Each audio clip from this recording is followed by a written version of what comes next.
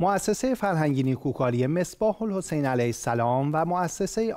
سی که هر دو از مراکز وابسته به دفتر آیت الله العظما سید صادق حسین شیرازی می باشند در فعالیتی مشترک با همکاری یکدیگر اقدام به آواربرداری در مناطق جنوب لبنان نمودند. این مؤسسه ها همچنین در خلال شرکت در عملیات های آواربرداری به ارائه سایر خدمات به امدادگران و مردم آواره و جنگ زده لبنان می‌پردازند. لازم به ذکر است که آیت الله العظما سید صادق حسین شیرازی در ابتدای حمله وحشیانه اسرائیل به جنوب لبنان با صدور اجازه استفاده از سهم مبارک امام عجل الله تعالی فرجه و شریف برای جنگ زدگان و شیعیان لبنانی راه را برای کمک رسانی های گسترده به آنان هموار کرده و نقش مؤثری در تسهیل این یاری رسانی ها داشتند. در پی صدور این فتوا و توصیه به مؤمنان سراسر جهان برای یاری رساندن به مردم مظلوم لبنان